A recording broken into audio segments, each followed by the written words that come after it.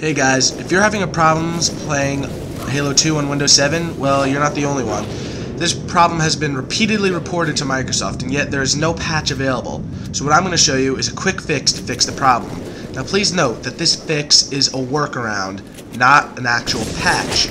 So that means that you're going to have to do it each time before you open up Halo 2. But it's the only thing available right now. Now, if you call Games for Windows technical support, they'll tell you to try these three options. Remove all Games for Windows Live related items and reinstall from the Halo 2 disk. Reinstall Windows 7 from scratch. Or wait for a patch, which most likely will never come, since the last time this game was patched was in 2007, and the only reason they did that was to cover their own asses because the ESRB found out about a nudity glitch in the game. A guy named Deadblow came up with this fix over at the Games for Windows Live forums, and the folks over at Monster Moose packaged it into a batch file, which is what we'll be using.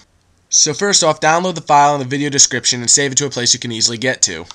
So, right-click the file and then select Run as Administrator. Then hit Yes if your computer asks you to confirm. After that, a small batch prompt should come up telling you that it's ready.